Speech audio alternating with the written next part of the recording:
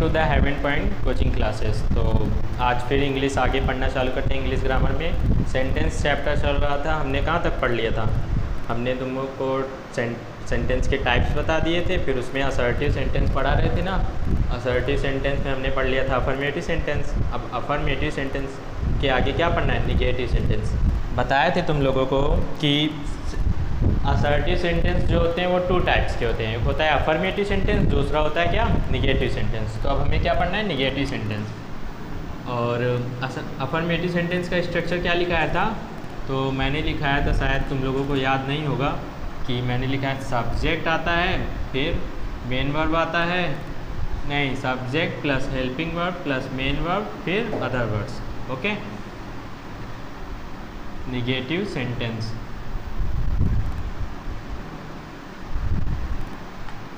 negative sentence को हिंदी में नकारात्मक वाक्य कहते हैं। ठीक है? नकारात्मक वाक्य। सेंटेंस को वाक्य निगेटिव को नकारात्मक। ओके तो जो निगेटिव सेंटेंस होते हैं, पहले देख लो निगेटिव सेंटेंस कहते किससे समझ लो थोड़ा सा। तो इससे जो होता है, वो मना करने का भाव निकलता है किसी चीज़ को मना करने। निगेटिव वर्ड्स देखे होंगे ना क्या क्या होते हैं? एक होता है नो नेवर नॉट, यही होता है ना? तो इसमें सारा क्या मना करने का भाव निकलना, निकलता है? जैसे तुम्हारे फ्रेंड्स लोग पूछते होंगे कि घूमने चलोगे तो तुम लोग कहते हो नो हमको पढ़ना है क्लास करना है द पॉइंट कोचिंग क्लासेस में। ठीक है? तो मना करने का भाव निकला कि नहीं? मम्मा कहते हैं, खाना खाना है। तुम लोग कहोगे, नहीं, मम्मा नहीं खाना खाना है। बोलोगे नो मम्मा खाना नहीं खाना।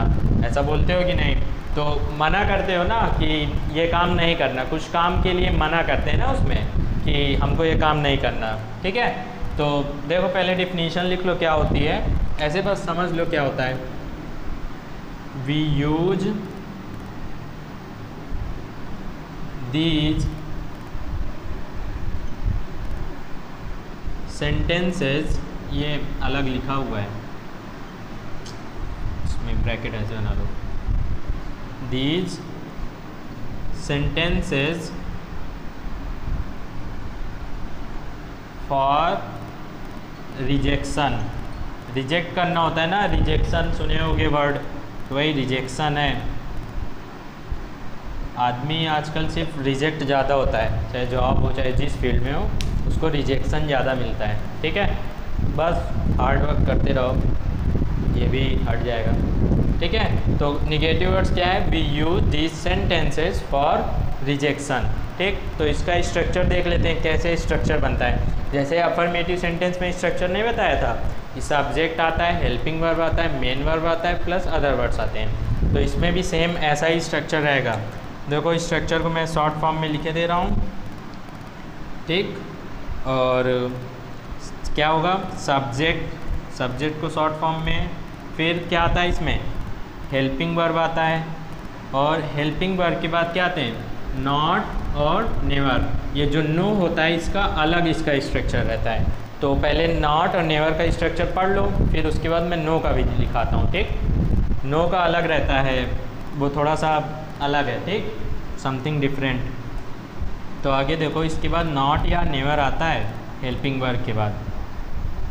फिर उसके बाद आता है मेन वर्ब मेन वर्ब समझते हो कि जो मेन काम होता है, खाना, पीना, ऐसा सारा. एक्शन मतलब ठीक? मेन वर्ब फिर उसके बाद अदर वर्ड्स अदर वर्ड्स यहाँ पास लिख लो. ठीक है? तो पहले हमने क्या देखा? सब्जेक्ट देखा, फिर उसके बाद हेल्पिंग वर्ब फिर नॉट या नेवर फिर मेन वर्ब फिर अदर वर्ड्स रीऑर्डरिंग री मतलब रीअरेंज वाले जो क्वेश्चन रहते हैं, उसमें सबसे ज़्यादा यही स्ट्रक्चर मेन रहता है। अगर जिसको स्ट्रक्चर याद हुआ तो वो क्वेश्चन सही कर लिया जाता है। और जिसको स्ट्रक्चर नहीं याद हुआ तो गलत कर देता है। देखो अफर्मेटिव सेंटेंस और निगेटिव सेंटेंस में अंतर कितना है सिर्फ़? स्ट्रक्चर में, खासकर। उसमें भी सब्जेक्ट आया था, फिर उसके बाद हेल्पिंग वर्ब आया था, फिर क्या आया? इसमें क्या आ गया? नॉट या न्यूअर आ गया। लेकिन उसमें निगेटिव नहीं था अफर्मेटिव था पॉजिटिव वाला था। तो नॉट या नेवर ना आके डायरेक्ट मेन वर्ब आता है। इसमें सिर्फ़ नॉट और नेवर और ये हेल्पिंग वर्ब के बाद ही हमेशा नॉट या नेवर का यूज़ होता है। ठीक है? ऐसा याद रखना। नॉट या नेवर फिर मेन वर्ब फिर अदर वर्ड्स ओके चलो, आगे देखते हैं। अब स्ट्रक्चर हो गया। एग्ज़ाम्पल देखो। लिख गया सबका? ठीक है। वीडियो को लाइक करो सब्सक्राइब करो। ओके शेयर करो ज़्यादा से ज़्यादा। एग्ज़ाम्पल देख लो इसका। अभी नो वाला स्ट्रक्चर करा रहा हूँ। नॉट या नेवर का हो गया और नो वाला स्ट्रक्चर इसके बाद करा रहा हूँ, ठीक है? तो एग्ज़ाम्पल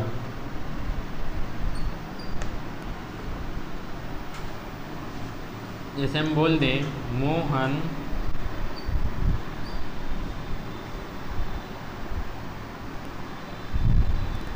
does not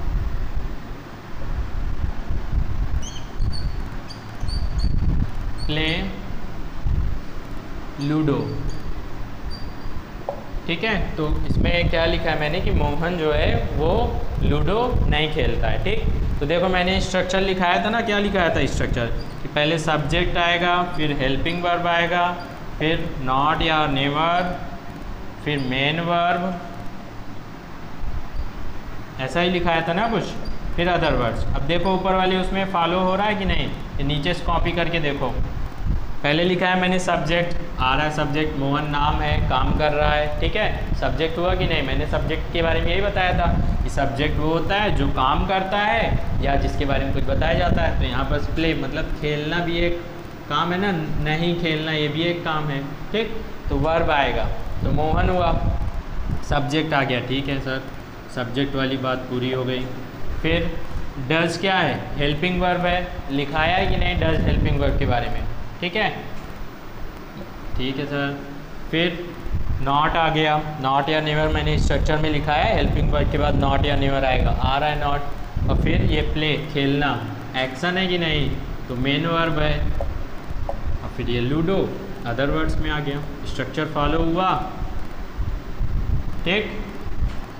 अब ऐसे ही तुम चाहे जितने सारे स्ट्रक्चर बना सकते हो इसी बेस में। स्ट्रक्चर का ध्यान रखना है, हमको ऐसा सेंटेंस बनाना है कि जिसमें पहले सब्जेक्ट आए, फिर हेल्पिंग वर्ब लेकर आना है, फिर नॉट या नेवर लेकर आना है, फिर मेन वर्ब फिर अदर वर्ड्स में लेके आ सकते हैं। ओके चलो एक स्ट्रक्चर और देख लो, बस। ये लिखा रहने तो मैं ये एग्ज़ाम्पल हटा रहा हूँ फिर।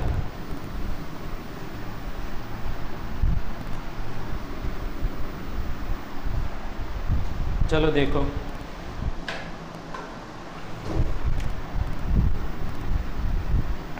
ठीक तो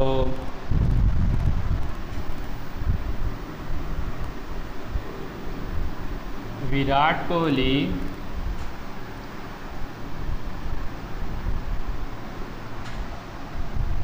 is not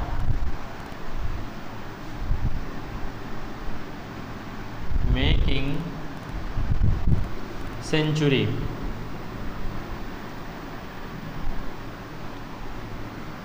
last में फुल स्टॉप ठीक? तो इसका मतलब ये है कि विराट कोहली जो है वो सेंचुरी नहीं बना रहा है, ठीक है? यही है ना? इज़ नॉट मेकिंग सेंचुरी ठीक?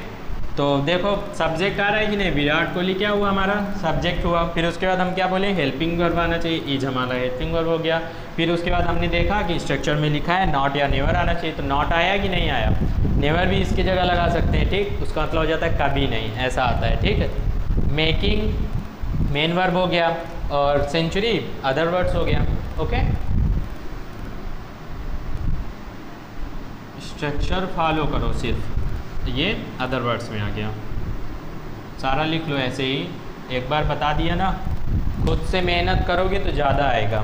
जैसे कहते हैं ना कि खुद से ढूंढ ढूंढ के पढ़ो तो चीज़ें ज़्यादा समझ में आती हैं। वैसे ही अगर इसको खुद से लिखोगे, खुद से समझोगे पूरा, अब मैंने जैसे यहाँ सब्जेक्ट नहीं लिखा, तुम लोग अगर अब नोट्स में यहाँ सब्जेक्ट लिख रहे होगे तो जल्दी याद होगा। ठीक? कभी नहीं भूलने वाला। सिर्फ़ कहा जाता है कि एक हफ़्ते अगर किसी चीज़ को रिवाइज करते रहो तो फिर वो ज़िंदगी में कभी नहीं भूलती। लेकिन अगर सिर्फ़ एक दिन पढ़ोगे, दूसरे दिन नहीं पढ़ोगे तो भूल जाएगी। ठीक? चलो आगे देखते हैं। निगेटिव वर्ड्स हो गया। सिर्फ़ उसका नो का एक बता दे रहा हूँ कि नो का स्ट्रक्चर क्या होता है, उसमें कैसे क्या होता है। तो देख लो। तो नो का जो स्ट्रक्चर होता है, उसमें भी सब्जेक्ट से ही शुरुआत होती है। उसमें भी सब्जेक्ट के बाद हेल्पिंग वर्ब आता है। हेल्पिंग वर्ब के बाद नो आता है। लेकिन उसमें नो के बाद मेन वर्ब ना आके नाउन आ जाता है। क्या आ जाता है? नाउन नाउन के बाद अदर वर्ड्स ठीक है? सिर्फ़ इतना चेंजमेंट है उसमें कि नो के बाद नाउन आता है। क्या आता है? नाउन यहाँ नॉट या नेवर के बाद हमने पढ़ा था कि मेन वर्ब आता है, लेकिन इसमें क्या है? नॉट आता है, ठीक? जैसे हम बना दें मतलब नो के बाद आता है नाउन एग्ज़ाम्पल देख लो।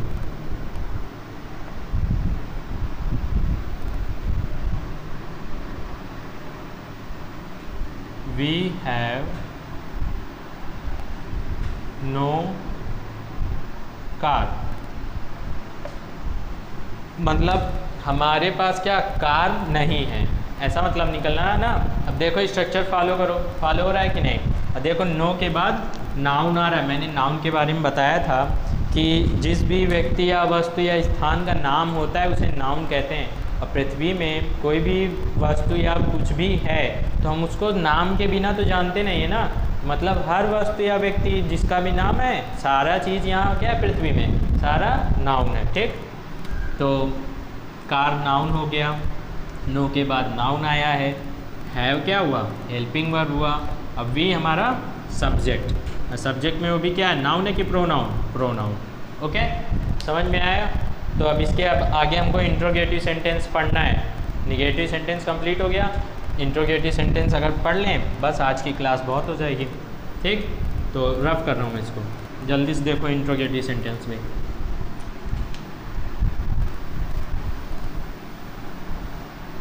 इंट्रोगेटिव सेंटेंस सेकेंड टाइप था ना सेंटेंस का। इंट्रोगेटिव सेंटेंस इसी से इंट्रोगेशन बनता है, जो इंट्रोगेट करते हैं ना, पूछताछ करते हैं। इसी से बनता है इंट्रोगेटिव सेंटेंस क्योंकि उसमें सबसे ज़्यादा यही इंट्रोगेटिव वर्ड्स का यूज़ करते हैं ना, पूछताछ में। तुम कहाँ गए थे? वहाँ क्या कर रहे थे? सब जवाब देना रहता है। ठीक? तो इंट्रोगेटिव सेंटेंस देख लेते हैं। इंट्रोगेटिव जो सेंटेंस होता है, इसको हिंदी में क्या कहते हैं? इसको हिंदी में कहते हैं प्रश्नवाचक वाक्य। क्या बोलेंगे? प्रश्नवाचक वाक्य। ठीक है? तो देखो, हिंदी से ही समझ में आ रहा है कि प्रश्न करते हैं ऐसे वाक्य होते हैं जो प्रश्न करते हैं, ठीक? तो ये भी टू टाइप्स के होते हैं। जो इंट्रोगेटिव सेंटेंस भी होता है, वो भी टू टाइप्स का होता है। एक होता है फ़र्स्ट टाइप दूसरा होता है सेकेंड टाइप ऐसे ही पढ़ते हैं। फ़र्स्ट टाइप को बोलते हैं यस या नो इंट्रोगेटिव टाइप्स ठीक है? कि उसमें यस या नो में जवाब देना रहता है। जैसे पूछेंगे कि जैसे मम्मा पूछती हैं, क्या तुम खाना खाओगे? तो बोलते हैं, नहीं, यस या नो में बोलते हैं ना, नहीं खाऊँगा हाँ खाऊँगा। ऐसा बोलते हैं कि नहीं? पापा पूछते हैं कि, क्या तुम स्कूल जाओगे? तो बोलते हो, नहीं। तो फिर पापा ज़बरदस्ती भेजते हैं। ऐसा क्वेश्चन करते हैं कि नहीं? तो फ़र्स्ट टाइप देख लेते हैं और सेकंड टाइप में जो रहता है, चलो करते जाओ तो एक एक बताता जाऊँ। पहले देखो फ़र्स्ट टाइप। ओके? इसका स्ट्रक्चर देखना है। फ़र्स्ट टाइप को यस या नो इंट्रोगेटिव टाइप कहते हैं। इंट्रोगेटिव टाइप्स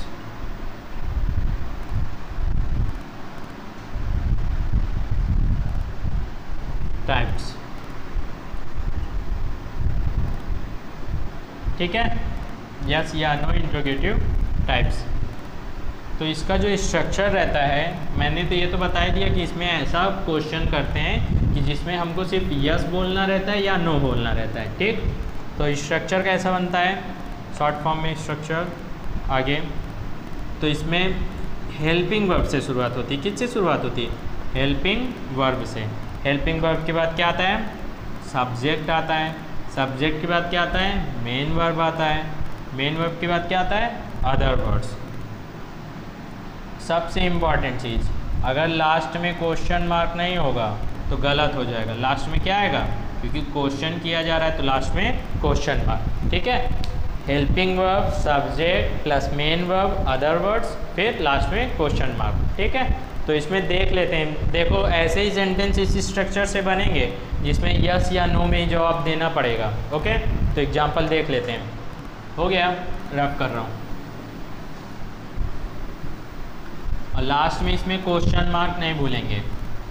इंट्रोगेटिव सेंटेंस में क्वेश्चन मार्क आएगा। जैसे पेपर तुम लोग न्यूज़पेपर पढ़ते रहोगे, कोई हेडलाइन लिखी रहेगी कि ऐसा लिखा रहेगा कि आज तूफ़ान आने वाला है।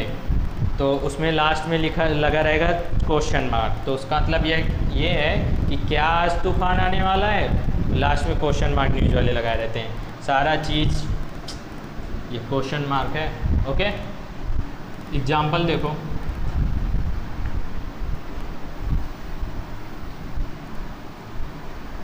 Is Mohan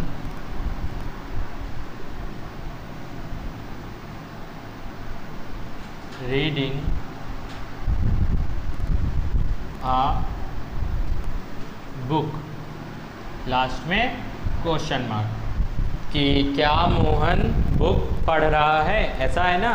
तो देखो इसमें क्या, कोई हमसे पूछेगा, क्या मोहन बुक पढ़ रहा है? तो मैं क्या जवाब दूँगा? अगर पढ़ रहा होगा तो मैं बोलूँगा हाँ पढ़ रहा है। नहीं पढ़ रहा होगा तो नहीं पढ़ रहा है। ओके?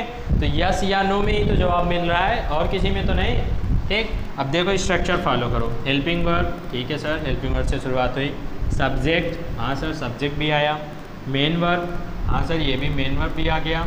और फिर अदर वर्ड्स हाँ सर अदर वर्ड्स भी आ गया बुक में। और लास्ट में क्वेश्चन मार्क तो ये पूरा सही है। तो हमारा स्ट्रक्चर क्या? फॉलो हो रहा है कि नहीं? हाँ तो तुम लोग कहोगे यस सर आपका स्ट्रक्चर बिल्कुल फॉलो हो रहा है। तो दूसरा देखते हैं। एक और एग्ज़ाम्पल देख लो। ठीक है? और इसी में क्वेश्चन बना देते हैं रीअरेंज वाला कि उसमें ये मोहन को पहले कर देंगे, इसको बाद में कर देंगे लास्ट में क्वेश्चन मार्क भी लगा रहेगा और रीडिंग को उठा के इधर रख देंगे। तो ऐसे सेट करना रहता है। अब जिसको स्ट्रक्चर नहीं याद रहेगा, गलत करेगा। ठीक?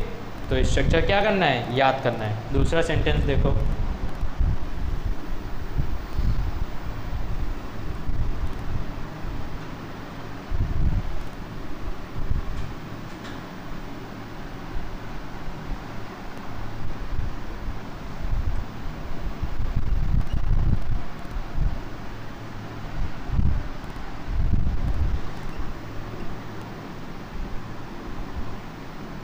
ठीक? देखो क्या लिखा है। Do you want to know my name क्या तुम मेरा नाम जानना चाहते हो? ऐसा लिखा है ना? तो कोई पूछेगा, क्या do you want to my name तो बोलना, अगर तुम किसी का नाम जानना चाहते हो तो क्या बोलोगे? यस तो यस या नो में जवाब मिल रहा है कि नहीं? अब देखो, सब मेरा स्ट्रक्चर फॉलो हो रहा है कि नहीं? Do helping verb you subject want main verb आ गया। फिर अदर वर्ड्स में फिर से क्या आ गया? ये नो फिर इसमें ये पूरा अदर वर्ड्स हो जाएगा। ठीक? तो इसमें क्या है? इसमें दो वर्ब यूज़ हुए ना? ये नो फिर से वर्ब आ गई तो ये मेन वर्ब है। और टू के बाद कोई भी वर्ब यूज़ होती है तो हमेशा फ़र्स्ट फॉर्म में रहती है। ठीक है? सिर्फ़ यहाँ पे इतना समझ लो आगे फिर उसका रूल्स पढ़ेंगे कि हमारा लास्ट में अदर वर्ड्स आ रहा है और, और लास्ट में क्वेश्चन मार्क ओके आ गया अब लास्ट टॉपिक है बस आज के लिए कि हम सेकेंड टाइम पढ़ लेते हैं बस आज के लिए इतना ही। तो सेकेंड टाइप पढ़ लेते हैं। ये हो गया ना? सेकेंड टाइप में कुछ नहीं रहता, सिर्फ़ उसमें क्या रहता है? डब्ल्यू एच वर्ड आ जाते हैं। ठीक? डब्ल्यू एच वर्ड समझते हैं ना? जो क्वेश्चन वाले वर्ड होते हैं वाट वाई वेयर वैन मतलब ऐसा पूछते हैं ना, क्या, कब, कैसे, कहाँ, क्यों, कैसे हुआ, ये सारा पूछते रहते हैं ना? तो सब क्वेश्चन ही तो हैं। तो सेकेंड टाइप डालेंगे। सेकेंड टाइप तो जो सेकेंड टाइप इंट्रोगेटिव सेंटेंस होता है, उसको डब्ल्यू एच वर्ड टाइप्स भी कहते हैं W H word word types ठीक है? तो अब ये डब्ल्यू एच वर्ड टाइप्स क्यों कहते हैं? तो हम पहले उसको देख लेते हैं। पहले ये देख लेते हैं कि इंट्रोगेटिव जो डब्ल्यू एच वर्ड होते हैं, वो कौन से होते हैं? इंट्रोगेटिव वर्ड या W H word interrogative word कौन कौन से होते हैं? तो अब तुम जितने प्रकार से किसी से क्वेश्चन कर सको, जो मतलब क्वेश्चन लगा के, क्या तुम वहाँ गए थे? क्यों वहाँ तुम गए थे? कब वहाँ तुम गए थे? कहाँ तुम गए थे? ठीक है, ऐसे क्वेश्चन करते हैं ना तो वो सारे इंट्रोगेटिव वर्ड हैं। तो इंट्रोगेटिव वर्ड देख लो। इन्हीं को इंग्लिश में, जैसे मैंने एग्जांपल दिया, इन्हीं को इंग्लिश में देख लो। वाट वाट मीन्स क्या? सबको मालूम है। इसका जवाब कोई नहीं दे पाता। वाट मीन्स क्या होता है? वाट वेयर वेयर कहाँ? हाउ वैन भाई विच विच मतलब कौन सी? ओके हुज और एक होता है होम ठीक है? और भी क्वेश्चन वर्ड होते हैं, जैसे हाउ मैनी बन जाता है हाउ मैनी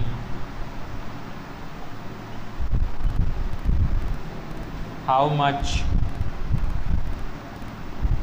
क्या होता है? हाउ मच ये सारे क्या है? इंट्रोगेटिव वर्ड्स हैं। क्या है? इंट्रोगेटिव वर्ड्स वाट मतलब होता है क्या? वेयर कहाँ? हाउ कैसे? व्हेन कब? समय के लिए होता है। वाई क्यों? विच कौन सी? हुज किसका या किसकी? होम भी ये सेम होता है। ये सिर्फ़ पर्सन के लिए यूज़ करते हैं। किसका या किसकी? हाउ मैनी मतलब ये संख्या में कितना होता है? How many how many do you have मतलब ऐसा काइट्स बोल सकते हैं ना? How many do you have kites तुम्हारे पास कितनी पतंग है? ऐसा होता है, कितनी होता है? हाउ मच का प्रयोग मात्रा के लिए करते हैं, कितनी मात्रा? ऐसा होता है, ठीक? हाउ मच ओके जो मतलब अनकाउंटेबल नाउन रहते हैं, ये तो अलग टॉपिक है, इसको अभी आगे पढ़ाता हूँ। हाउ मैनी हाउ मच ये सारा बताऊँगा, ठीक है? तो यहाँ इतना समझ में आ गया ना कि ये सारे इंट्रोगेटिव वर्ड्स हैं। अब इनको हमको कैसे यूज़ करना है, ये देखना है। अब देखो, इसको डब्ल्यू एच वर्ड किस लिए कहते हैं? क्योंकि सारे में अधिकतर डब्ल्यू एच कॉमन है। इसलिए इसको डब्ल्यू एच वर्ड भी कहते हैं। ठीक है? है कि नहीं? चलो, आगे देखते हैं। जल्दी से इसका स्ट्रक्चर देखते हैं एग्ज़ाम्पल देखते हैं। ओके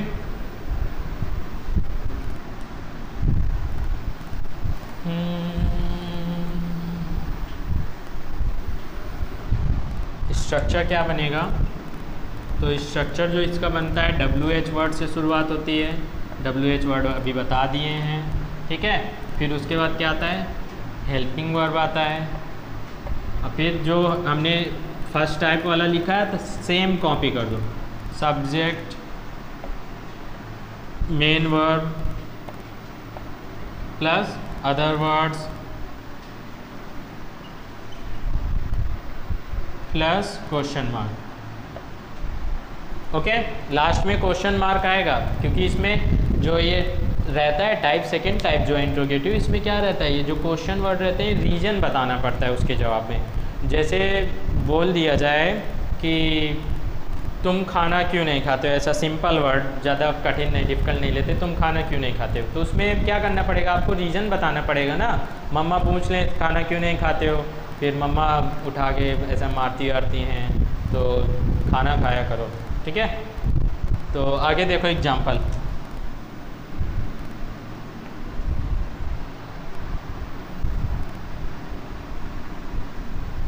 वाई ले लेते हैं okay why are you